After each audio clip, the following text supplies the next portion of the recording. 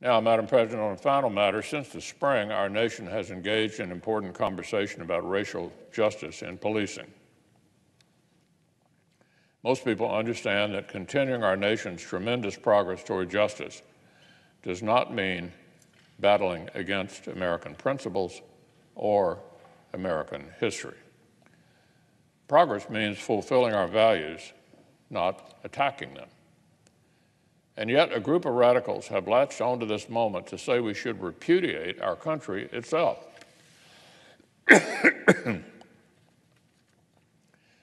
We've watched as mobs have dragged statues of Washington, Jefferson, and Grant through the dirt.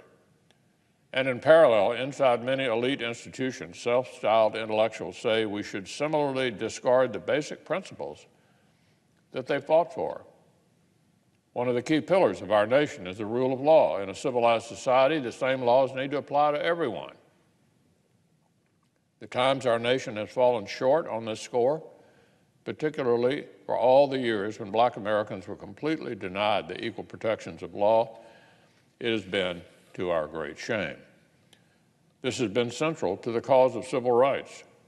There's a reason the 14th Amendment insists on equal protection of the laws. And yet, in recent months, local leaders have violated this basic tenet. As riots rocked major cities, we saw politicians decline to act. They seem to fear far left critique more than looting and chaos.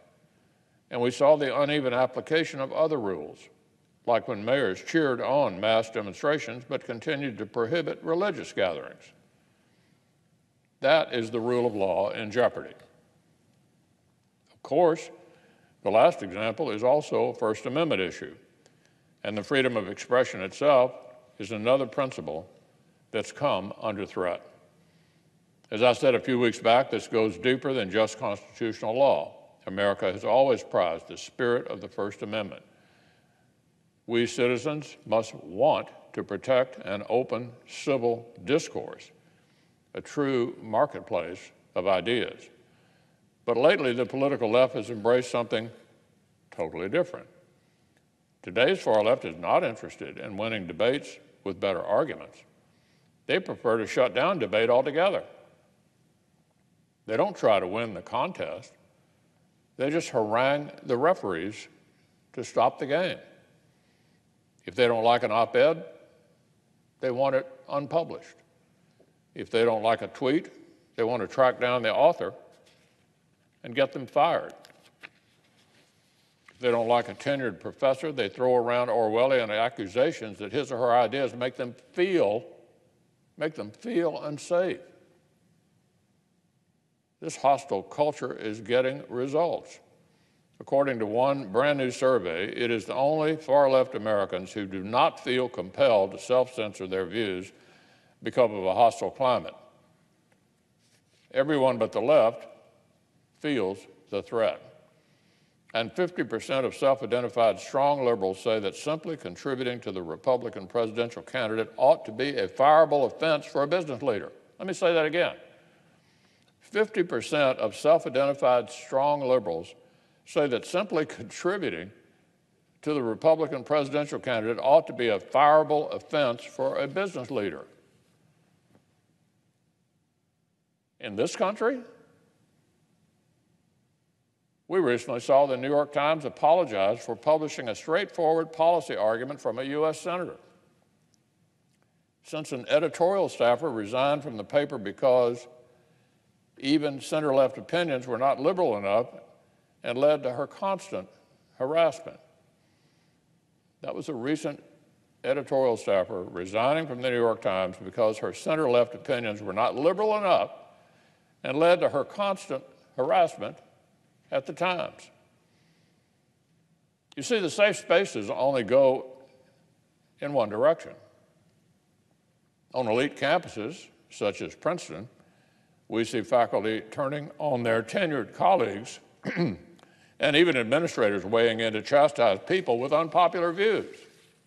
At Princeton, we see online platforms such as Facebook threatening to ban political advertising altogether, chilling our democracy because far left employees and outside pressure groups berate them for letting diverse speakers use their platform. Even at a time when there is significant appetite in Congress to take a second look at the legal protections afforded to those supposedly neutral platforms, they still contemplate giving an angry minority of agitators a veto over America's political speech. The author, Salman Rushdie, who was himself threatened with death for controversial speech, once said this Two things form the bedrock of any open society freedom of expression and the rule of law. If you don't have those things, you don't have a free country. Free expression and the rule of law. Exactly, exactly the two things we've seen eroded in recent months.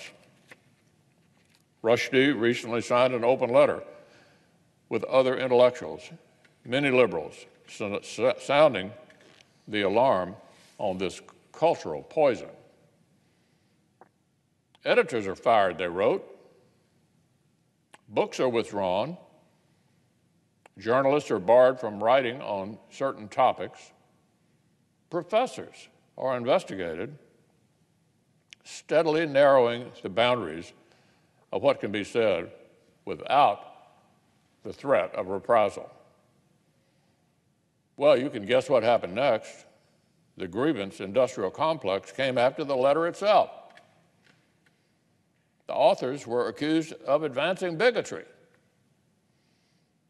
And the cycle of nonsense started all over again.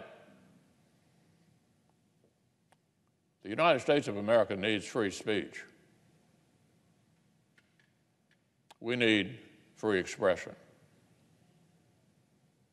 And all of us, from all perspectives, need the courage to speak up and defend it.